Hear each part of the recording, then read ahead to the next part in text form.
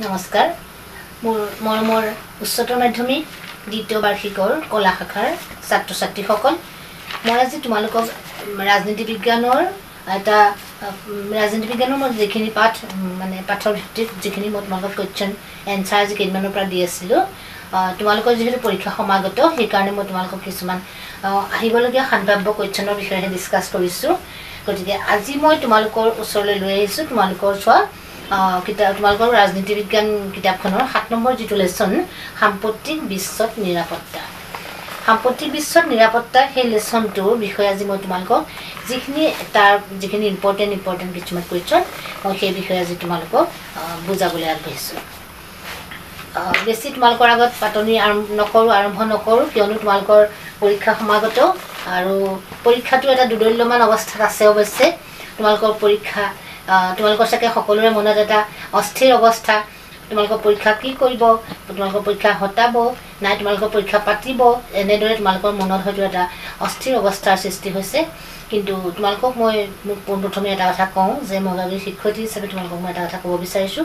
তোমালোকে পঢ়া তোমালোকৰ পৰীক্ষা পিছুৱাই দিয়া হয় বা কিয়ে কৰা হয় সেইখিনিৰ লগত তোমালোকে কোনো সংগতি নাৰাখি তোমালোকৰ চিন্তাধাৰা তাৰ লগত সংগতি নাৰাখি তোমালোকে পঢ়া তোমালোকে পৰীক্ষাৰ কাৰণে নিজকে সাজু কৰা সাজু কৰি যাতে তোমালোকে ক'ভিডৰ যিখিনি প্ৰট'কল দিছে এছ অ' পি যিখিনি দিব চৰকাৰে সেইখিনি প্ৰতি মানি নিয়ম মানি তোমালোকে পৰীক্ষা যদি দিব লগা হয় পৰীক্ষাটো দিব লগা হ'ব কাৰণ তোমালোকৰ ইতিমধ্যে আজি এতিয়ালৈকে পৰীক্ষা হটোৱা নাই যেতিয়া গতিকে তোমালোক পৰীক্ষাৰ কাৰণে সাজু হোৱা আৰু সকলোৱে সকলোলৈকে মই ইয়াৰ পাছত অৱশ্যে আৰু কেইটামান তোমালোকক মই ক্লাছ দিম।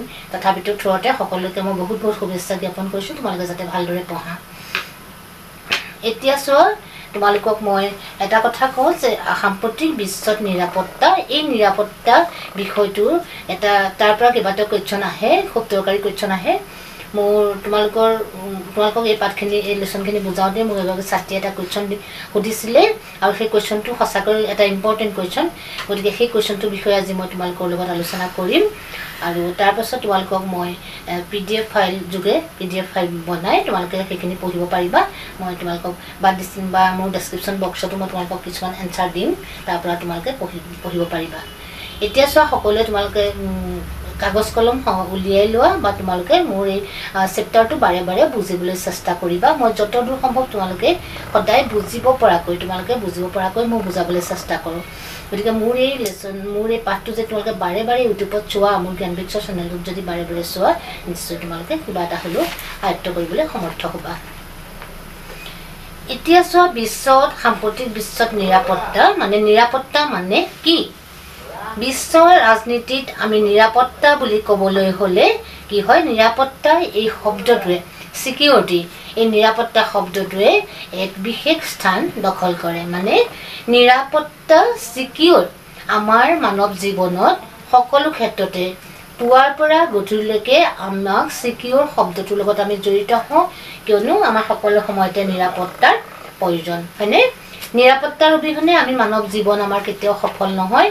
পুৱাৰ পৰা গধূলিলৈকে সকলো ক্ষেত্ৰতে আমি যদি ৰাতিপুৱা যদি আমি তোমালোক বা যোন যিয়ে নহওঁ ৰাতিপুৱা যদি এজন মানুহ ঘৰৰ পৰা ওলাই যায় বা এগৰাকী ছোৱালী যদি সন্ধ্যাৰ পাছত ঘৰৰ বাহিৰত থাকিব লগা হয় কিবা কাৰণত তেওঁ নিৰাপত্তা ফিল কৰে তেওঁক নিৰাপত্তা লাগে তেওঁ আনচিকিউৰ ফিল কৰে গতিকে সেই যেতিয়া আনচিকিউৰ ফিল কৰে মানুহে তাৰ সেই সময়তে আমাৰ বাবে কি লাগে নিৰাপত্তাৰ প্ৰয়োজন হয়।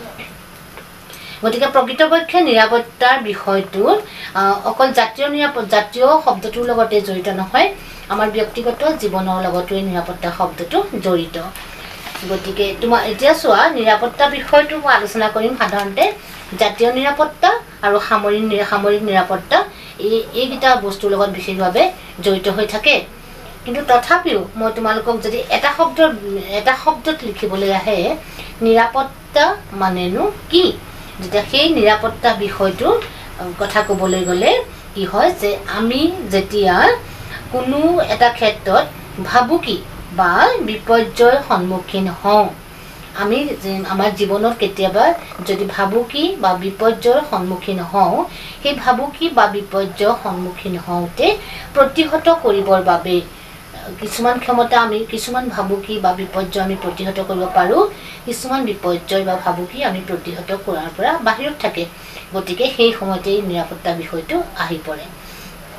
গতিকে তোমালোকে এক অৰ্থত এক মানে যদি এইটো অতি শ্বৰ্ট কুৱেশ্যন দুই নম্বৰ কুৱেশ্যনত যদি আহে যে নিৰাপত্তা বুলিলে কি বুজা তেতিয়া তোমালোকে লিখিব লাগিব যে নিৰাপত্তা বুলি ক'লে সাধাৰণতে কোনো ভাবুকি বা বিপৰ্যয় প্ৰতিহত কৰাৰ বাবে গ্ৰহণ কৰা যি এটা সুৰক্ষা ব্যৱস্থা সেয়াই হ'ল নিৰাপত্তা। এতিয়া আকৌ এবাৰ কৈছোঁ শুনা নিৰাপত্তা বুলি ক'লে কি বুজায় যে সাধাৰণতে আমি অকস্মাতে সন্মুখীন হোৱা কোনো ভাবুকি আমি সন্মুখীন হোৱা কোনো ভাবুকি বা বিপৰ্যয়ৰ বাবে প্ৰতিহত কৰিবলৈ প্ৰতিহত কৰাৰ বাবে বাধা দিয়াৰ বাবে যিটো সুৰক্ষা ব্যৱস্থাৰ প্ৰয়োজন হয় সেয়াই হ'ল প্ৰকৃত অৰ্থত নিৰাপত্তা। গতিকে নিৰাপত্তা কি হয় প্ৰত্যেক মানুহেই প্ৰত্যেক মানুহৰ জীৱনত নিৰাপত্তাহীনতাত ভোগে। যিকোনো সময়তে মানুহ সদায় নিৰাপত্তাহীনতাত ভোগে বা নিৰাপদ এটা কি হয় নিৰাপত্তাৰ প্ৰয়োজন অনুভৱ কৰে প্ৰত্যেকজন মানুহে। তো এতিয়া তোমালোকে এটা কথা চোৱা সকলো ক্ষেত্ৰতে আমাক নিৰাপত্তাৰ প্ৰয়োজন হয় নহয়নে?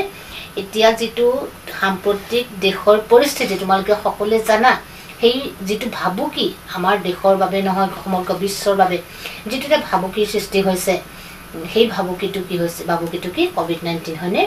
গতিকে ক'ভিড নাইণ্টিনে এতিয়া নিৰ্বাচনৰ পাছৰ পৰা আমাৰ এই বিহু যে সমাগত হ'ল সেই বিহুৰ পাছৰে পৰা অৱশ্যে এটা কথা তোমালোকে ঠিক জানিবা মই এটা কথা বাহিৰলৈ আহি কৈছোঁ যে নিৰ্বাচনৰ সময়তো কিন্তু হাজাৰ হাজাৰ ক'ভিড ক'ভিড পেচেণ্ট বা টেষ্ট কৰা হ'লে ক'ভিড ওলালেহেনে কিন্তু সেই সময়ত নিৰ্বাচনী ব্যৱস্থাটো চাগে খেলি মেলি হয় বুলিয়ে বা যি কাৰণতে নহওক চৰকাৰে এইটোতো ৰাজনীতিৰ কথা ন ৰাজনীতিটো সেইবোৰ আছেই। গতিকে তেতিয়া মানুহক টেষ্ট কৰা নহ'ল গতিকে ক'ভিড নোলালে। আৰু এতিয়া লাহে লাহে যেতিয়া টেষ্ট কৰা হৈছে হাজাৰ হাজাৰ ক'ভিড ৰোগী এতিয়া ওলাইছে।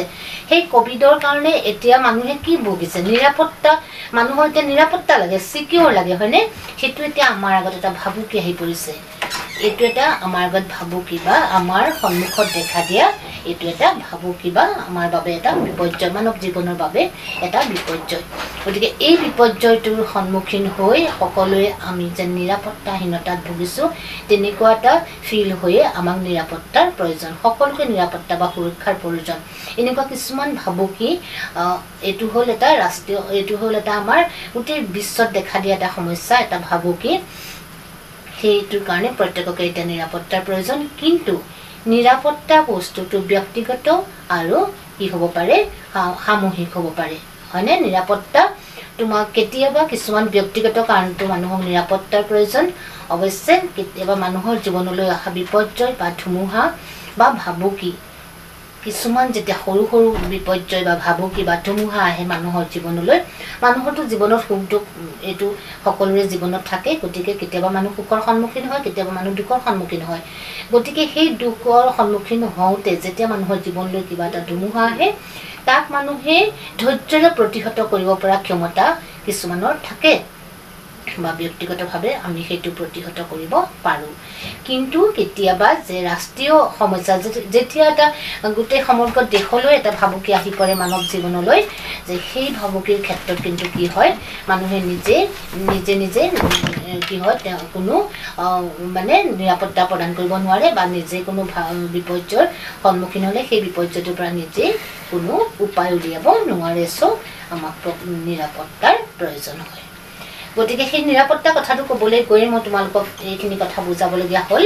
গতিকে নিৰাপত্তা মানে তোমালোকে এতিয়া এক অৰ্থত ক'বলৈ গ'লে নিৰাপত্তা মানে কি?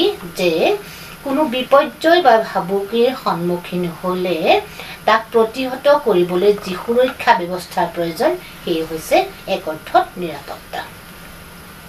এতিয়া চোৱা যেতিয়া কিছুমান নিৰাপত্তা মানুহৰ ব্যক্তিগত জীৱনলৈ আহে মই তোমালোকক কৈছোঁ যে সেই ব্যক্তিগত আগতে এতিয়া মই তোমালোকক বুজাই গৈছোঁ যে সেই ব্যক্তিগত জীৱনলৈ অহা সৰু সৰু যিবিলাক বিপৰ্যয় সেইবিলাক সৰুও হ'ব পাৰে কেতিয়াবা বা ডাঙৰো হ'ব পাৰে। কিন্তু সেই সৰু ডাঙৰ বিপৰ্যয়বিলাক আমি কি কৰোঁ কেতিয়াবা নিজে নিজে সমাধা কৰিব পাৰোঁ বা নিৰাপত্তা পৰিয়ালৰ মানুহৰ মাজতে নিৰাপত্তা প্ৰদান কৰি সেই বিপৰ্যয়সমূহ পূৰণ কৰা হয়। কিন্তু কিছুমান যেতিয়া ভাবুকি বা নিৰাপত্তা আহে মানৱ জীৱনলৈ যিখিনি এটা ভয়াৱহ বিপদ আহে মানুহে নিজে নিজে কোনো প্ৰতিহত কৰিব পৰা ক্ষমতা নাথাকে তেতিয়াই আমাক নিৰাপত্তাৰ প্ৰয়োজন হয়। এনেধৰণৰ ভাবুকিৰ জৰিয়তে যদি মানুহৰ ক্ষতিসাধন হয় অস্তিত্বৰ সৈতে জড়িত হয় প্ৰমূল্যবোধৰ লগত প্ৰমূল্যবোধৰ প্ৰশ্ন আহি পৰে গতিকে তেনেকুৱাবিলাক ক্ষেত্ৰত কি হয় মানৱ জীৱনৰ প্ৰমূল্যবোধৰ প্ৰশ্ন যেতিয়া আহি পৰে সেইবিলাকৰ ক্ষেত্ৰত মোকাবিলা কৰাত কিছু ধৰণৰ অসুবিধাৰ সৃষ্টি হয়। গতিকে তেনেকুৱা তেনেকুৱাবিলাক ক্ষেত্ৰত কি হয় আমাক নিৰাপত্তাৰ সামূহিক নিৰাপত্তাৰ প্ৰয়োজন হয়। গতিকে নিৰাপত্তা ব্যৱস্থাটো কি হয় যে বিশ্বত বৰ্তমান প্ৰায় দুশখন ৰাষ্ট্ৰ আছে হয়নে? আৰু ইয়াত সাতশ কোটিৰো অধিক মানুহে বসবাস কৰে। দুশখন ৰাষ্ট্ৰ আছে প্ৰায় আৰু তাত প্ৰায় সাতশ কোটিৰো অধিক মানুহে বসবাস কৰে। কিন্তু মন কৰিলেই দেখিবলৈ পোৱা যায় যে প্ৰত্যেকখন ৰাষ্ট্ৰ বা প্ৰতিজন মানুহৰ জীৱনলৈ যিবোৰ ভাবুকি বা বিপৰ্যয় আহে তাৰ বাবে একেধৰণৰ নিৰাপত্তাৰ প্ৰয়োজন নহয়। একেধৰণৰ নিৰাপত্তাৰ প্ৰয়োজন হয় জানো? সকলোবিলাক বিপদটো মানুহৰ একে নহয় সকলোবিলাক ৰাষ্ট্ৰলৈ অহা ভাবুকিও একে নহয় গতিকে নিৰাপত্তাও একে একে ধৰণৰ হ'ব নোৱাৰে বা নিৰাপত্তাও একে ধৰণৰ নহয়। অৰ্থাৎ বেলেগ বেলেগ ধৰণৰ নিৰাপত্তাৰ প্ৰয়োজন হয় বেলেগ বেলেগ সময়ত। এতিয়া চোৱা ৰাষ্ট্ৰলৈ কিছুমান ভাবুকি আহে দেশলৈ কিছুমান ভাবুকি আহে কোনোবা ৰাষ্ট্ৰই কোনোবা ৰাষ্ট্ৰক আক্ৰমণ কৰিব খুজিছে ভাৰত ভাৰত পাকিস্তানে ভাৰত আক্ৰমণ কৰিব খুজিছে বা ভাৰতে পাকিস্তান আক্ৰমণ কৰিব খুজিছে বা চাইনাৰ লগত কিবা এটা বিবাদ হৈছে এনেকুৱাবিলাক ক্ষেত্ৰত হ'ল ৰাষ্ট্ৰীয় ভাবুকি।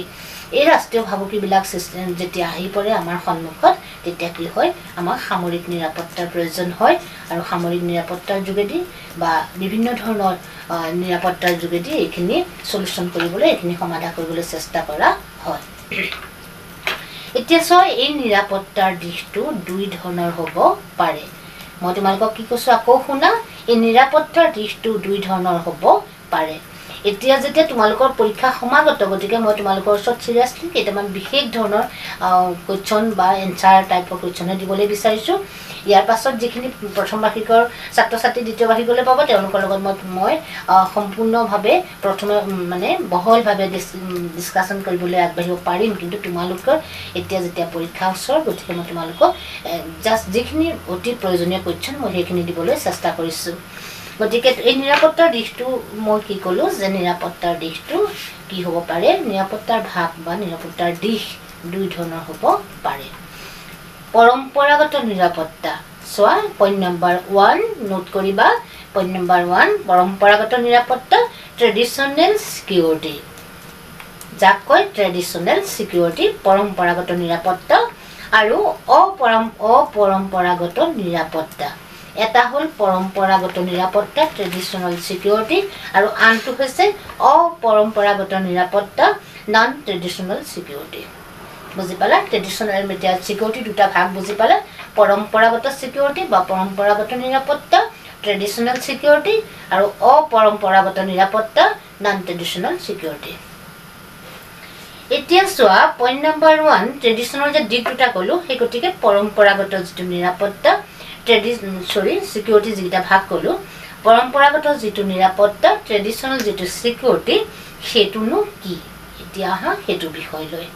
তোমালোকে চাগে মই খৰকৈ বুজাইছোঁ নেকি? বাৰু খৰকৈ বুজালে তোমালোকে মোৰ কমেণ্ট বক্সত পঠাবা দেই। যদি মোৰ খৰকৈ বুজোৱাৰ কাৰণে তোমালোকৰ অকণমান কাৰোবাৰ অসুবিধা হৈছে তেতিয়া কিন্তু মোৰ কথাটো মোৰ লগত আলোচনা কৰিবা। কাৰণ মোৰ উদ্দেশ্যই হৈছে তোমালোকক মই জ্ঞান দিয়া। ৰাজনীতি বিজ্ঞান বিষয়টোত মই তোমালোকক প্ৰত্যেককে আগুৱাই নিয়া মোৰ অকল উদ্দেশ্য সেইটোৱেই।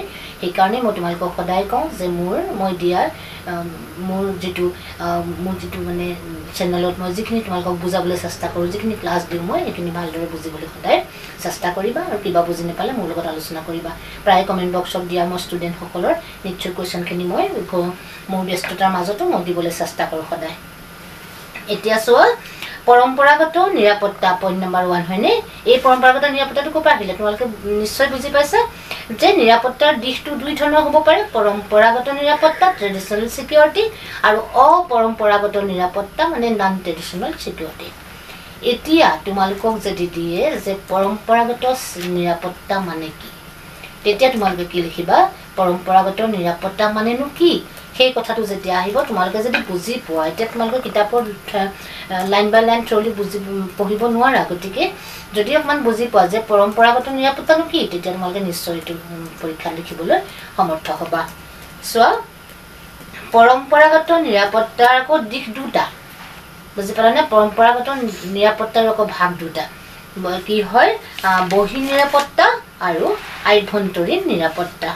বহী নিৰাপত্তা মানে এক্সটাৰ্নেল ছিকিউৰিটি আৰু আভ্যন্তৰীণ নিৰাপত্তা মানে হ'ল ইণ্টাৰনেট ছিকিউৰিটি বহি নিৰাপত্তা মানে বহি মানে তোমালোকে নিশ্চয় বুজি পাইছা বাহিৰা বাহিৰা আৰু আভ্যন্তৰীণ মানে ভিতৰুৱা। গতিকে ইয়াত কি হয় আকৌ পৰম্পৰাগত নিৰাপত্তাৰো আকৌ দুটা দিশ আছে। নিৰাপত্তাৰ দুটা দিশ আৰু আকৌ পৰম্পৰাগত নিৰাপত্তাৰ দুটা দিশ।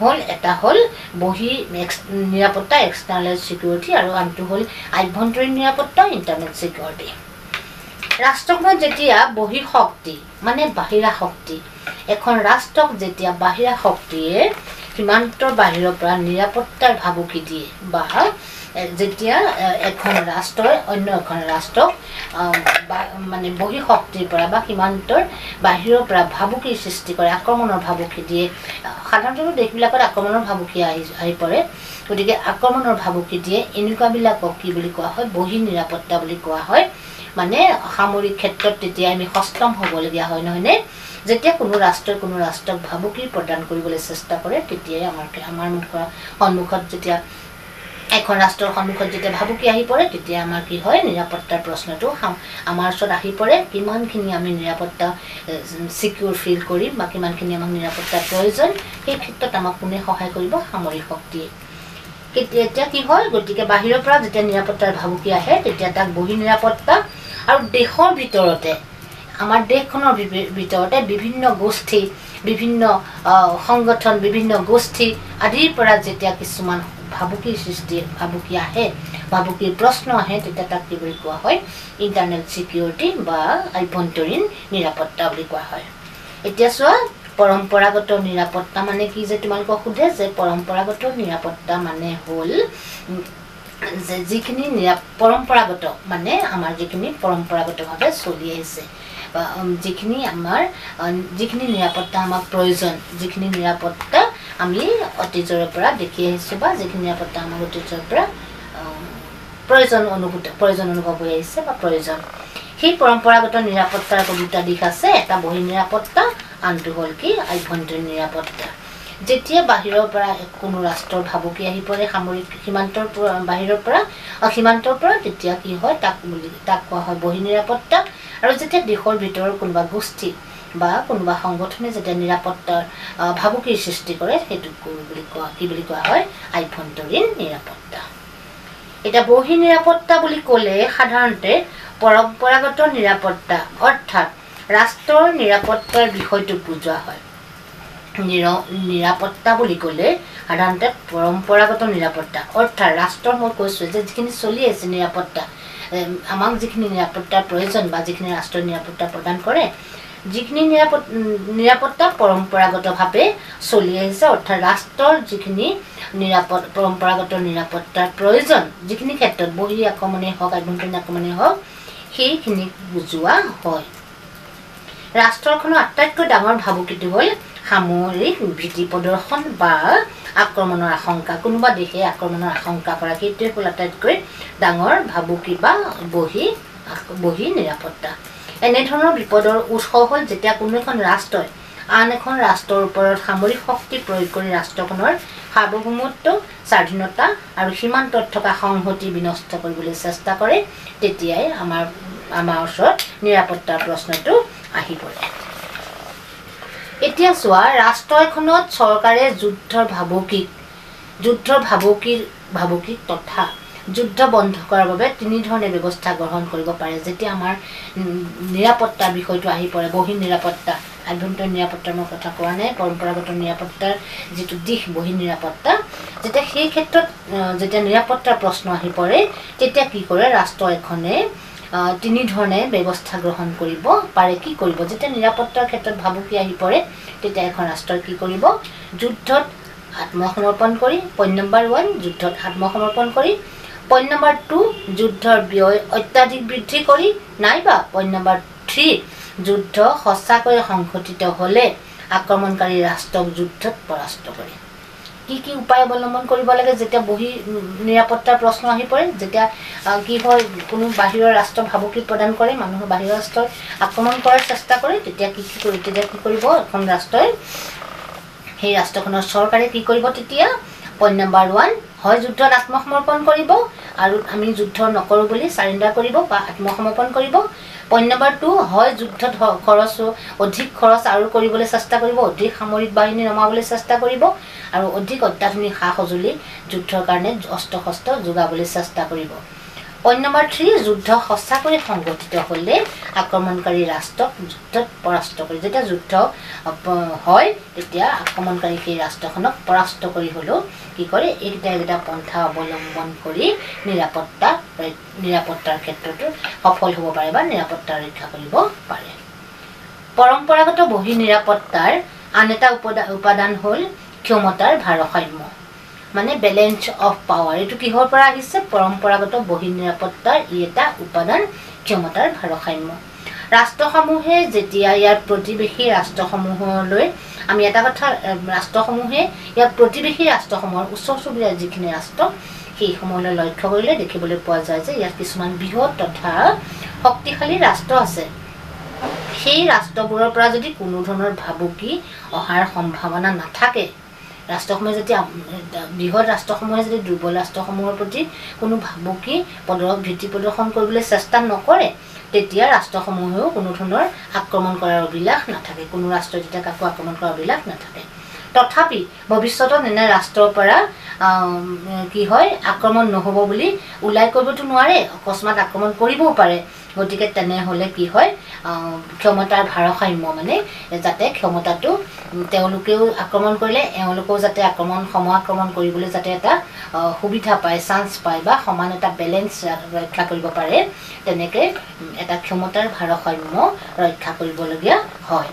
নাইবা কি কৰে কেতিয়াবা আকৌ কি হয় ৰাষ্ট্ৰখনৰ সৈতে জোঁট বান্ধি বেলেগ বেলেগ ৰাষ্ট্ৰসমূহৰ সৈতে মানে শত্ৰু ৰাষ্ট্ৰ যিখিনি যিখন ৰাষ্ট্ৰই কোনোবা ৰাষ্ট্ৰক মোৰ কথাটো বুজিবলৈ চাগে অকণ অসুবিধা হৈছে চোৱা ক্ষমতাৰ ভাৰসাম্য কথাটো কি?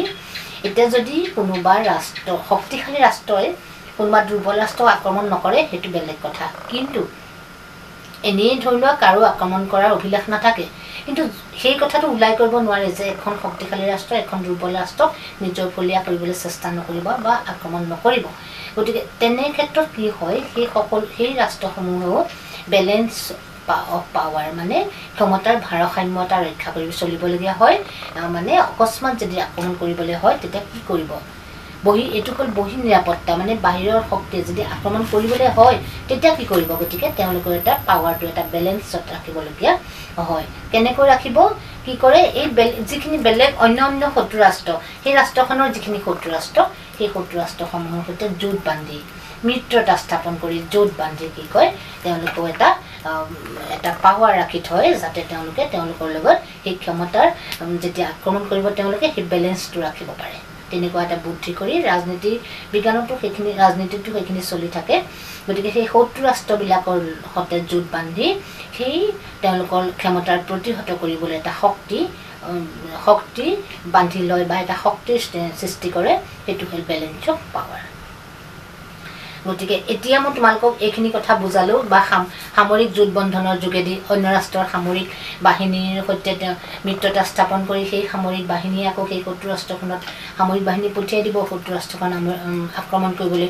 এনেকুৱা জোট বন্ধনৰ জৰিয়তে মিত্ৰতাৰ জৰিয়তে শত্ৰু ৰাষ্ট্ৰবিলাকৰ মানে যিখন ৰাষ্ট্ৰই আক্ৰমণ কৰিছে সেই ৰাষ্ট্ৰখনৰ যিখিনি শত্ৰু ৰাষ্ট্ৰ আছে সেই শত্ৰু ৰাষ্ট্ৰবিলাকৰ সৈতে জোট বন্ধন কৰি বা সামৰিক জোট বন্ধন কৰি কি হয় বেলেঞ্চ অফ পাৱাৰ এটা ক্ষমতাৰ ভাৰসাম্য ৰক্ষা কৰিবলৈ চেষ্টা কৰা হয় কিয়? যেতিয়া বহিঃশক্তিয়ে আক্ৰমণ কৰে এখন ৰাষ্ট্ৰ। যদিহে সেই ৰাষ্ট্ৰখনৰ সৈতে যুঁজিবলৈ সমৰ্থ নহয় তেতিয়া এইকেইটা পদ্ধতি মানে বেলেঞ্চ অফ পাৱাৰ ক্ষমতাৰ ভাৰসাম্যটো মানি চলিবলগীয়া হয়। এতিয়া তোমালোকক মই বুজালোঁ কিহৰ? বহি নিৰাপত্তা হয়নে? পৰম্পৰাগত নিৰাপত্তাৰ দুটা দিশ বহি নিৰাপত্তা আৰু আভ্যন্তৰীণ নিৰাপত্তা। এই বহি নিৰাপত্তাটো বুজালোঁ বাহিৰৰ শক্তিয়ে কৰা সাম মানে ধৰি লোৱা আমাৰ সীমান্ত বৰ্ডাৰ সীমান্তৰ বাহিৰৰ পৰা বাহিৰা শক্তিয়ে যিটো ভাবুকি দিয়ে সেইটো হ'ল বহি নিৰাপত্তা। এতিয়া চোৱা আভ্যন্তৰীণ নিৰাপত্তা। ৰাষ্ট্ৰ এখনৰ বিপদ ভাবুকি বা প্ৰত্যাহ্বান কেৱল যে এখন ৰাষ্ট্ৰৰ বাহিৰৰ পৰা আহে আকৌ সেইটো নহয়। দেশৰ ভিতৰতো কেতিয়াবা কিছু কিছু ক্ষেত্ৰত ভাবুকি বা প্ৰত্যাহ্বানৰ সন্মুখীন হ'ব লগা হয়।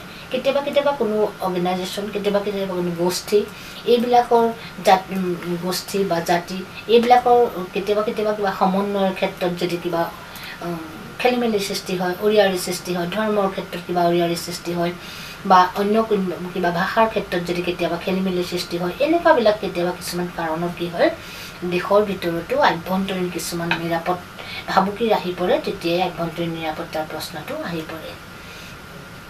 গতিকে পৰম্পৰাগত নিৰাপত্তাৰ সৈতে আভ্যন্তৰীণ নিৰাপত্তাও জড়িত হৈ থকা দেখিবলৈ পোৱা যায়। এতিয়া কি হয় ৰাষ্ট্ৰখনৰ ভিতৰৰ পৰা যিখিনি ভাবুকি বা প্ৰত্যাহ্বান আহে সেই ৰাষ্ট্ৰ তেতিয়া সেই প্ৰত্যাহ্বান বা ভাবুকিয়ে এখন ৰাষ্ট্ৰৰ সম্প্ৰীতি বিনষ্ট কৰিব পাৰে। গতিকে তেনে ক্ষেত্ৰত যাতে আমাৰ এখন ৰাষ্ট্ৰৰ কোনো ৰাষ্ট্ৰত কোনো সম্প্ৰীতিৰ বিনষ্ট হৈ বিশৃংখল পৰিৱেশৰ সৃষ্টি হ'ব নোৱাৰে তাৰ বাবে কি হয় নিৰাপত্তা নিৰাপত্তা প্ৰদান কৰা হয় যাতে আভ্যন্তৰীণ ক্ষেত্ৰত কোনো বেমেজালি বা খেলি মেলি এখন দেশক দেশৰ সম্প্ৰীতি দেশৰ উন্নতি দেশৰ প্ৰগতি কেতিয়াও বিনষ্ট কৰিব নোৱাৰে। গতিকে সেই কথা এতিয়া মই তোমালোকক বুজালোঁ। ইয়াৰ পাছত যদি আভ্যন্তৰীণ নিৰাপত্তা বা বহি নিৰাপত্তাৰ বিষয়ে তোমালোকৰ কিবা জানিব লগা আছে সেইখিনি মই তোমালোক সেইখিনি তোমালোকে মোক কমেণ্ট বক্সত বুজা সুধিবা আৰু যদিহে কিবা তোমালোকক নোটছৰ প্ৰয়োজন হয় তোমালোকে মোক কমেণ্টৰ জৰিয়তে জনাব পাৰিবা। এতিয়া চোৱা এটা প্ৰশ্ন মই তোমালোকক কৈছিলোঁ যে মোক এগৰাকী ষ্টুডেণ্টে তোমালোকৰ লগৰে এগৰাকী ষ্টুডেণ্ট দ্বিতীয় বাৰ্ষিকৰ উচ্চতৰ মাধ্যমিক কলা শাখা দ্বিতীয় বাৰ্ষিকৰ এগৰাকী ষ্টুডেণ্টে মোক এটা কুৱেশ্যন সুধিছিল সেই কুৱেশ্যনটো কিন্তু সঁচাকৈ বহুত প্ৰয়োজনীয় কুৱেশ্যন। প্ৰয়োজনীয় এটাৰ পৰীক্ষাত মানে সাম্ভাৱ্য পৰীক্ষাৰ বাবে মই কুৱেশ্যন পেপাৰো চাইছিলোঁ। এতিয়া তোমালোকৰ লগত আৰু কুৱেশ্যন পেপাৰ ডিছকাছ কৰিবলৈ অৱশ্যে সময় নাই। তথাপিতো মই কুৱেশ্যন পেপাৰো চাইছিলোঁ সঁচাকৈ এই কুৱেশ্যনটো কিন্তু কেইবাখনো কেইবাখনো কেইবাবাৰো তোমালোকৰ হেৰি প্ৰশ্ন কাকতত আহিছে ৰাজনীতি বিজ্ঞানৰ দ্বিতীয় বাৰ্ষিকৰ। মানে সেই কুৱেশ্যনটো হৈছে চোৱা প্ৰবজন আৰু মানৱ নিৰাপত্তা। প্ৰবজন আৰু মানৱ নিৰাপত্তাৰ মাজত কি সম্পৰ্ক আছে বা সেনেকুৱা এটা সম্পৰ্ক আছে প্ৰবজন আৰু মানৱ নিৰাপত্তা মানেনো কি বা তেওঁলোকৰ মাজত কি সম্পৰ্ক আছে সেই এই বস্তুটোৰ মাজত কি সম্পৰ্ক আছে বহলাই আলোচনা কৰা। বুজি পালানে? ইয়াৰ এই কুৱেশ্যনটো হ'ল এটা খুব দৰকাৰী কুৱেশ্যন তোমালোকে আকৌ এবাৰ কুৱেশ্যনটো মনত ৰাখি লোৱা। যে প্ৰবজন আৰু মানৱ নিৰাপত্তা মানেনো কি? প্ৰবজন আৰু মানৱ নিৰাপত্তাৰ মাজত কি সম্পৰ্ক? বহলাই আলোচনা কৰা। এতিয়া চোৱা মই তোমালোকক এটা কথাই কওঁ যে সাম্প্ৰতিক দেশৰ পৰিস্থিতি খুবেই বেয়া। এনেকুৱা দেশৰ পৰিস্থিতিত তোমালোকক মই আজি এটা কথা ক'বলৈ ওলাইছোঁ যে মই তোমালোকক এতিয়া এই এই এই কুৱেশ্যনটো তোমালোকক মই এতিয়া বুজাম কিন্তু মই মাস্ক পৰিধান কৰি বুজাম। কিয় জানানে? এতিয়া এনেকুৱা এটা কথা আহি পৰিছে দেশৰ সাম্ভাৱ্য দেশৰ পৰিস্থিতি ইমানেই বেয়া হৈ আহিছে তোমালোকে কিন্তু এই কথাটো ওলাই নকৰিবা। সঁচাকৈ মাস্কখন খুবেই প্ৰয়োজন আমাৰ বাবে। যেতিয়া তোমালোক বাহিৰত যাবা বা তোমালোকৰ ঘৰলৈও যেতিয়া কোনোবা অতি আলহী অতিথিৰ সমাগম হয় তোমালোকে বহুত সন্মুখলৈ গৈ কথা নাপাতিবা বা তোমালোকে বহুত এইবিলাক মানে মাস্কৰ যিটো প্ৰয়োজনীয়তা সেইখিনি কথা মানি চলিবা। কাৰোবাৰ কাহ জ্বৰ আদি হৈছে ওচৰলৈ নাযাবা আৰু মাস্কখন পৰিধান কৰিলে অকণমান হ'লেও তোমালোকে এইখিনিৰ পৰা হাত সাৰিব পাৰিবা। চ' মই তোমালোকক এতিয়া সেইকাৰণেই সেই তোমালোকক মই এই বাৰ্তাটো দিবৰ কাৰণেই মই তোমালোকৰ আগত এতিয়া এইটো যদিও মই ঘৰৰ ভিতৰত থাকি তোমালোকক ক্লাছটো কৰিছোঁ তথাপিও কিন্তু মই এতিয়া মাস্ক পৰিধান কৰি তোমালোকক মই এই এইটো এইটো যিটো কুৱেশ্যন এই কুৱেশ্যনটো কিন্তু তোমালোকক এতিয়া মই মাস্ক পৰিধান কৰি বুজাম কিয়? তোমালোকৰ মাজলৈ এটা বাৰ্তা দিছোঁ যাতে তোমালোকে মাস্ক পৰিধান কৰিহে বাহিৰলৈ ওলোৱা বা তোমালোকে তোমালোকৰ সহপাঠীৰ লগতে হওক বা কোনোবা মানুহৰ লগতে হওক কথা বতৰা আদি পাতোঁতে তোমালোকে অলপ সজাগ সচেতন হ'বা কিয়নো দেশৰ পৰিস্থিতি এতিয়া অতিকে বিপদাপন্ন। এতিয়া চোৱা প্ৰবজন আৰু মানৱ নিৰাপত্তাৰ মাজৰ সম্পৰ্ক কি? বা প্ৰবজন প্ৰবজন আৰু মানৱ নিৰাপত্তা মানে কি? বহলাই আলোচনা কৰা। এই কুৱেশ্যনটো খুব কিন্তু এটা ইম্পৰ্টেণ্ট কুৱেশ্যন তোমালোকে মনত ৰাখিবা। এতিয়া চোৱা এজন মানুহে যেতিয়া বিভিন্ন কাৰণত এখন ঠাই এৰি অন্য এখন ঠাইলৈ যায়।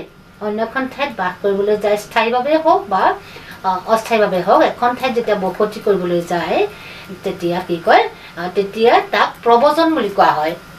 আকৌ এবাৰ চোৱা প্ৰবজন মানে কি ক'লোঁ? এখন এজন মানুহে যেতিয়া নিৰাপত্তাহীনতাত ভুগি দেই সাধাৰণতে নিৰাপত্তাহীনতাত ভুগিলেতো যায় কোনোবা এখন ঠাই দেশৰ পৰা কোনোবা এখন দেশলৈ। অৰ্থনৈতিক নিৰাপত্তা মেইন কথা হ'ল যেতিয়া অৰ্থনৈতিক নিৰাপত্তাহীনতাত ভোগে এজন মানুহে যেতিয়া বিভিন্ন কাৰণত অৰ্থনৈতিক নিৰাপত্তা হওক বা অন্য কিবা ভাবুকিয়ে হওক তেওঁ জীৱনলৈ অহা বিপৰ্যয়ে হওক এনেকুৱাবিলাক কাৰণে যেতিয়া এখন ঠাইৰ পৰা অন্য এখন ঠাইলৈ গমন কৰে স্থায়ীভাৱে বসবাস কৰিবলৈ যায় তাক প্ৰব্ৰজন বুলি কোৱা হয়। বুজি পালা ভালকে?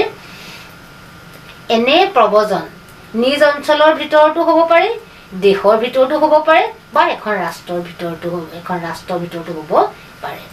এনে প্ৰব্ৰজন মানে এজন মানুহ যেতিয়া কোনো বিপৰ্যয় বা ভাবুক মই তোমালোকক ক'লোৱে নিৰাপত্তানো কি?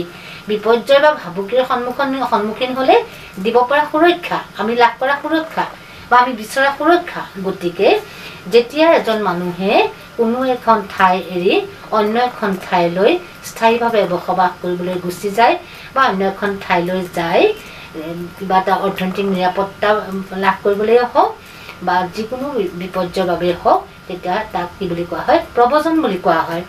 গতিকে এনে প্ৰব্ৰজন কি হয় নিজ অঞ্চলৰ ভিতৰতো হ'ব পাৰে নিজ দেশৰ ভিতৰতো হ'ব পাৰে বা এখন ৰাষ্ট্ৰৰ ভিতৰতো হ'ব পাৰে। যদি কোনো ব্যক্তি বা ব্যক্তিৰ সমষ্টিয়ে ব্যক্তি সমষ্টি মানে কি? এজন ব্যক্তিক ব্যক্তি বুলি কোৱা হয় ব্যক্তি সমষ্টি মানে কেইবাজনো ব্যক্তি নহয়নে যে ব্যক্তি সমষ্টিয়ে কোনো বিশেষ কাৰণত বা অৰ্থনৈতিক নিৰাপত্তা আদি পাবৰ বাবে স্বইচ্ছাই বেলেগ স্থানলৈ গুচি যায় বা বসতিৰ উদ্দেশ্যে যায় তাক কি বুলি কোৱা হয়? স্বইচ্ছা প্ৰব্ৰজন বা স্বেচ্ছাই প্ৰব্ৰজন মই যে এতিয়া ক'লো প্ৰব্ৰজন মানে কি? ক'লোৱে যে এখন ঠাইৰ পৰা অইন এখন ঠাইলৈ স্থায়ীভাৱে বসতি কৰিবলৈ যোৱা যিকোনো নিৰাপত্তাহীনতাত যেতিয়া মানুহ ভোগে। বিপৰ্যয়ৰ সন্মুখীন হয় তেতিয়াহে মানুহ গুচি যায় এখন ঠাইৰ পৰা আন এখন ঠাইলৈ নহয় জানো গতিকে যেতিয়া তাক প্ৰব্ৰজন বুলি কোৱা হয় কিন্তু এই প্ৰব্ৰজন আকৌ দুটা ভাগ আছে প্ৰব্ৰজনৰ বুজি পালানে প্ৰব্ৰজনৰ আকৌ দুটা ভাগ কি ছয় মানে স্বেচ্ছাই প্ৰব্ৰজন আৰু অনিচ্ছাকৃত প্ৰব্ৰজন বুজি পালানে যেতিয়া এখন ঠাইলৈ মানুহ কি হয় স্বইচ্ছাই গুচি যায় তেওঁ কিবা কাৰণত যিকোনো কাৰণত তেওঁ জীৱনলৈ অহা বিপৰ্যয় হওক ভাবুকিয়ে হওক বা অৰ্থনৈতিক নিৰাপত্তাৰ বাবে হওক সংস্থাপন বিচাৰিয়ে হওক তেওঁ যেতিয়া স্বইচ্ছাই গুচি যায় কোনোবা এখন দেশলৈ কোনোবা এটা অঞ্চললৈ বা কোনোবা এখন ৰাষ্ট্ৰলৈ তেতিয়া তাক স্বেচ্ছাই প্ৰব্ৰজন বা স্বইচ্ছাই প্ৰব্ৰজন বুলি কোৱা হয়। আৰু যেতিয়া কোনোবা এটা কোনো এজন ব্যক্তি ইচ্ছাকৃতভাৱে নহয় তেওঁ বাধ্যত বাধ্যতামূলকভাৱে তেওঁ অন্য এখন ঠাইলৈ কিবা এটা বিপৰ্যয়ৰ বাবে বা অৰ্থনৈতিক সমস্যাৰ বাবে তেওঁ নিজ ঠাই এৰি অন্য এখন ঠাইলৈ যাবলগীয়া হয় অনিচ্ছাকৃতভাৱে তাক কি বুলি কোৱা হয়? অনিচ্ছাকৃত প্ৰব্ৰজন বুলি কোৱা হয়। বুজিলা? প্ৰবচনৰ সেইকেইটা ভাগ। মানে তাক তেতিয়া স্বেচ্ছাই প্ৰব্ৰজন বোলা হয় যিটো ইচ্ছা ইচ্ছা কৰি যায় আৰু যিটো ইচ্ছা কৰি নাযায় তেতিয়া তাক কি বুলি কোৱা হয়? অনিচ্ছাকৃত প্ৰব্ৰজন প্ৰব্ৰজন হ'লেই নহ'ব। ইচ্ছাৰ তেওঁ যদি নিজ ইচ্ছা কৰি যায় সেয়া হ'ল স্বেচ্ছাই প্ৰব্ৰজন। আৰু যদি অনিচ্ছাকৃতভাৱে বাধ্যত পৰি যাব লগা হয় তাক অনিচ্ছাকৃত প্ৰব্ৰজন। স্বেচ্ছাই প্ৰব্ৰজনটো কেনেকুৱা? তোমালোকক মই অকণমান বহলাই বুজাই দিছোঁ। স্বেচ্ছাই প্ৰব্ৰজন মানে ধৰি লওক কিবা এটা আজিতো এখন দেশত এতিয়া আমাৰ দেশৰ যে ল'ৰাবোৰ দেখিছিলানে? ক'ভিডৰ সময়ত যে একদম পূৰা হিলডল ভাঙি যে বাহিৰৰ পৰা আমাৰ অসমলৈ গুচি আহিছে ক'ৰ পৰা আহিছে ইমানবোৰ ল'ৰা আমাৰ অসমলৈ? মানে আমাৰ অসমৰ যিখিনি ল'ৰা নিবনুৱা হৈ আছিল এনেও আমাৰ অসমত নিবনুৱা সমস্যাটো বেছি। সাধাৰণতে প্ৰব্ৰজনটো নিবনুৱা সমস্যাৰ লগত বেছি জড়িত হৈ আছে দেই। মই তোমালোকক এইটো কথা এটা ইংগিত দি থৈছোঁ নিবনুৱা সমস্যাৰ লগত প্ৰব্ৰজনটো বেছি ধৰণে জড়িত হৈ আছে। ৰাজনীতি এটা কথা বুজালে তাৰ লগত ইটো দিশ ইটো কথা আহি পৰে। কিন্তু আমাৰ তোমালোকে এটা কথা এনেই তোমালোকে সাধাৰণভাৱে এটা কথা বুজি চোৱাচোন যে অসমলৈ যে ক'ভিডৰ সময়ত লকডাউনৰ সময়ত যে ইমানখিনি হুৰ- হুৰমূৰকৈ ল'ৰা সোমাই আহিছ- আহিছিল কিয় ক'ৰ সেইখিনিতো আমাৰ নিজৰ ল'ৰা ন? সেই ল'ৰাখিনি ক'ত আছিল? যিকোনো জেগাত হায়দৰাবাদ হওক বেংগলোৰ হওক কিবা কিবি ৰাজস্থান হওক ঝাৰখণ্ড হওক য'লে ত'লে আমাৰ তেতিয়া ল'ৰাখিনি মানে কেৰেলা হওক বা যিকোনো জেগালৈ আমাৰ উৰিষ্যা হওক এনেকুৱাবিলাক দেশলৈ এনেকুৱাবিলাক ঠাইলৈ আমাৰ ল'ৰাবোৰ গৈছিল। কিয় গৈছিল? আমাৰ দেশত যেতিয়া নিবনুৱা সমস্যাটো বেছি গতিকে সেই নিবনুৱা সমস্যাৰ সংস্থাপন একো নাই ল'ৰাবিলাকৰ। ডেকা ডেকা ল'ৰাবিলাকৰ একো সংস্থাপন নাই। গতিকে অৰ্থনৈতিক তেওঁলোকে সংকটত ভোগে। অৰ্থনৈতিক সংকটত ভোগাৰ লগে লগে তেওঁলোকে বাহিৰত কিবা এটা কৰিবলৈ যোৱাৰ প্ৰৱণতাটো বেছি। প্ৰৱণতা বৃদ্ধি পায়। বাহিৰত যিয়ে কৰি নাথাকক আমাৰ ল'ৰা বাহিৰত আছে। যি কৰি নাথাককতো সেইটো আমি বুজি নাপাওঁ। কিন্তু আমাৰ অসমীয়া ল'ৰাই যিকোনো কাম কৰিব অসমতে বহুত উৎপাদন কৰিবলগীয়া কাম আছে বহুত কৰিবলগীয়া কাম আছে। সেই কামখিনি নকৰাৰ বাবে আজি আমাৰ অসমীয়া ল'ৰাবিলাক বাহিৰলৈ ওলাই যাব লগা হৈছে। অৱশ্যে কিছু কিছু ক্ষেত্ৰত কিন্তু এই ক্ষেত্ৰত আমাৰ সকলো দোষী আমাৰ যিটো চলিত মানে আমাৰ যিটো ব্যৱস্থা সেইটোও অৱশ্যে কিছু কিছু দোষী মানে সাধাৰণতে ল'ৰাবিলাকে ইমানখিনি পৰ্যাপ্ত পৰিমাণে সুবিধা নাপায়। গতিকে মই তোমালোকক বুজাবলৈ গৈছোঁ যে সেই নিৰাপত্তাটো। মানে যিটো চাই নিৰাপত্তা তেওঁলোক চাই গুচি গৈছে বাহিৰলৈ। ল'ৰাবিলাক যে কিবা এটা সংস্থাপনৰ কাৰণে যাওঁ। বুজি পালে? আৰু যিটো অনিচ্ছাকৃত আকৌ নিৰাপত্তাটো কি গম পোৱা নে? এই কোনো এখন কোনো এঠাইত মানে যেতিয়া অঞ্চলত বানপানী আহি যায় হয়নে? বানপানী আহি গ'ল গৰাখহনীয়া আহি গ'ল। বানপানী আহিলে সেই খেতি বাতি কৰা নিজৰ অঞ্চলটো এৰি যাবলৈ ইচ্ছা কাৰো নহয়। কিন্তু যেতিয়া বানপানীয়ে গৰকি থৈ যোৱা বানপানীয়ে সমস্যাৰ সৃষ্টি কৰা যেতিয়া জেগাখনত একো নাইকিয়া হয় চলিবলৈ মেলিবলৈ খাবলৈ একো নাইকিয়া হয় তেতিয়া সাধাৰণতে সেই ঠাইৰ মানুহখিনি অন্য ঠাইলৈ যাবলগীয়া হয়। সেইটো হ'ল অনিচ্ছাকৃত প্ৰৱজন এতিয়া চোৱা বৰ্তমান বিশ্বত প্ৰৱজন আৰু নিৰাপত্তাৰ সৈতে এক ওতঃপ্ৰোত সম্পৰ্ক দেখা যায়। এইটো আহিলে মানে কি? প্ৰৱজনৰ নিৰাপত্তা মানে কি? এয়া আহিলে মানৱ নিৰাপত্তা মানে কি? এয়া আহি গ'ল আকৌ নিৰাপত্তা আৰু মানে প্ৰৱজনৰ মাজত সম্পৰ্ক। দেখা যায় যে দক্ষিণৰ ৰাষ্ট্ৰসমূহৰ দৰিদ্ৰতাৰ বাবে বৃহৎ সংখ্যক লোক কি হয় উত্তৰৰ ধনী ৰাষ্ট্ৰসমূহলৈ প্ৰৱজন হোৱা দেখা যায়। দক্ষিণৰ যিখিনি দৰিদ্ৰতাৰ ৰাষ্ট্ৰ দৰিদ্ৰ ৰাষ্ট্ৰ সেই ৰাষ্ট্ৰসমূহৰ সৰহসংখ্যক লোক কিন্তু উত্তৰৰ ধনী ৰাষ্ট্ৰসমূহলৈ প্ৰৱজন হোৱা দেখা যায়। সাধাৰণতে দেখা যায় যে দৰিদ্ৰতা বা কৰ্মসংস্থানৰ বাবে এখন ৰাষ্ট্ৰৰ লোক অৰ্থনৈতিক নিৰাপত্তাৰ আশাত অন্য এখন ৰাষ্ট্ৰলৈ যায়। প্ৰৱজন হোৱা লোকসকলে কৰ্মসংস্থানৰ আশাত বেলেগ বেলেগ ৰাষ্ট্ৰলৈ যায়। কিন্তু কেতিয়াবা যদিহে সেই ৰাষ্ট্ৰসমূহে প্ৰৱজনকাৰীজনক কি কৰে প্ৰৱজনকাৰীজনক যদি আৰ্থিক নিৰাপত্তা দিবলৈ অমান্তি হয় বা অসমৰ্থ হয় তেতিয়া কিন্তু এখন ঠাইৰ পৰা অৰ্থনৈতিক নিৰাপত্তাৰ আশাত যোৱা সেই প্ৰৱজনকাৰী মানে মানৱ প্ৰৱজনকাৰীজনৰ যথেষ্ট জনে যথেষ্ট কষ্ট ভোগ কৰিবলগীয়া হয়। সেই ক্ষেত্ৰত কিন্তু নিৰাপত্তা আহি পৰে। মই যে কৈছোঁ তোমালোকক যে কুৱেশ্যনটো বুজাইছোঁ যে মানৱ নিৰাপত্তা আৰু কি হয় প্ৰৱজনৰ মাজত সম্পৰ্ক। সম্পৰ্কটো কি চোৱা যেতিয়া কোনোবা কোনো এজন লোক বা ব্যক্তি বা ব্যক্তিৰ সমষ্টি আৰ্থিক নিৰাপত্তা আৰ্থিক সংকটৰ বাবে আৰ্থিক নিৰাপত্তা বিচাৰি বেলেগ এখন ৰাষ্ট্ৰলৈ যায়। যদিহে সেই ৰাষ্ট্ৰখনে তেওঁক আৰ্থিক নিৰাপত্তা প্ৰদান কৰিবলৈ অসমৰ্থ হয় বা অমান্তি হয় বা তেওঁক ইচ্ছা কৰিয়ে সেই ৰাষ্ট্ৰখনে কোনো সেই তেওঁলোকক আৰ্থিক মানে কোনো নিৰাপত্তা প্ৰদান নকৰে তেতিয়াই কিন্তু প্ৰৱজনকাৰীজনে বহুতো সমস্যাৰ সমস্যাত ভুগিবলগীয়া হয়।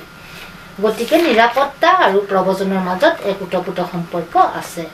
নিৰাপত্তা পালে বা দিলেহে প্ৰৱজন সফল হয়। কিন্তু নিৰাপত্তা নাপালে প্ৰৱজন কেতিয়াও উপকৃত বা সফল হ'ব নোৱাৰে।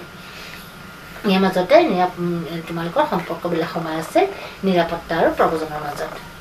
পেৰেগ্ৰাফ চেঞ্জ কৰি লিখিবা।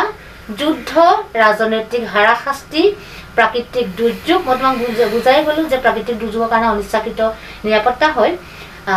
গতিকে যুদ্ধ ৰাজনৈতিক হাৰাশাস্তি প্ৰাকৃতিক দুৰ্যোগ ৰাজনৈতিক হাৰাশাস্তি মানে ৰাজনীতি ৰাজনৈতিক ফালৰ পৰা যদি কিবা ৰাষ্ট্ৰই বা দেশে যদি কিবা বা চৰকাৰে যদি কিবা হাৰাশাস্তি প্ৰদান মানে শাস্তি প্ৰদান কৰে বা অতিষ্ঠ কৰে কিছু কিছু কোনো কোনো ক্ষেত্ৰত। গতিকে তেনেকুৱাবিলাক যুদ্ধ ৰাজনৈতিক হাৰাশাস্তি প্ৰাকৃতিক দুৰ্যোগ আদিৰ বাবে মানুহৰ যেতিয়া এটা অঞ্চল বা এখন দেশৰ নিৰাপত্তাহীনতাত ভোগে মানুহে যেতিয়া তেতিয়াও এখন ঠাইৰে মানুহ অন্য এখন ঠাইলৈ নতুন কৰ্মসংস্থানৰ আশাত গুচি যায়। অৱশ্যে এনে কিন্তু প্ৰৱজনকাৰীসকলক কোনো কোনো ক্ষেত্ৰত কিন্তু শৰণাৰ্থী বুলিও কয়। শৰণাৰ্থী কথাটো মই তোমালোকক নেক্সট কালি লেচনত কাইলৈ পাত যিটো ক্লাছ কৰিম মই তাত বুজাই দিম। গতিকে কোনো কোনো ক্ষেত্ৰত কিন্তু এনে প্ৰৱজনকাৰীবিলাকক শৰণাৰ্থী বুলিও কোৱা হয়। অধিক নিবনুৱা সমস্যা বৃদ্ধি হ'লেও এখন দেশৰ লোক বা যুৱকসকল অৰ্থনৈতিক নিৰাপত্তাত হীনতাত ভোগে আৰু অৰ্থনৈতিক নিৰাপত্তাৰ আশাত অন্য এখন দেশলৈ গুচি যোৱা দেখা যায়।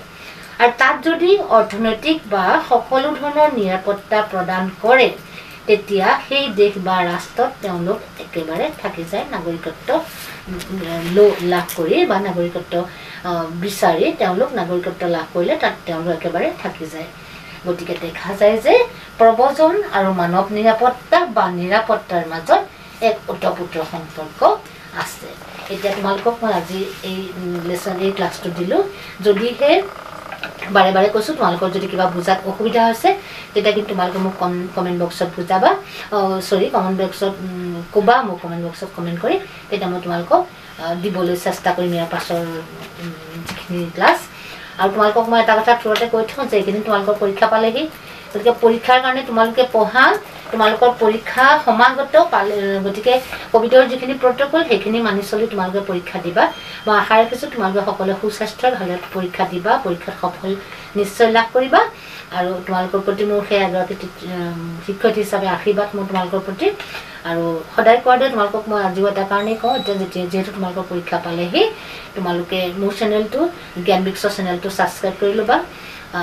লাইক কৰাটো সেইটো তোমালোকৰ কথা তোমালোকে কিমানখিনি ভাল পাইছা বেয়া পাইছা সেইখিনি তোমালোকৰ বিচাৰ্যৰ বিষয় তাত মোৰ ক'ব লগা একো নাই। কিন্তু তোমালোকে এটা কাৰণে ছাবস্ক্ৰাইব কৰিবা যে ইয়াৰ পাছৰ যিখিনি মই ক্লাছ দিম তেতিয়া তোমালোকে নিশ্চয় নটিফিকেশ্যনখিনি সহজেই পাই যাবা আৰু তোমালোক নিশ্চয় উপকৃত হ'বা বুলি মই আশা ৰাখিছোঁ। গতিকে আজিলৈ তোমালোকৰ মই ইমানতে সামৰিছোঁ। ধন্যবাদ আৰু ভালদৰে পঢ়িবা বুলি আশা ৰাখিছোঁ।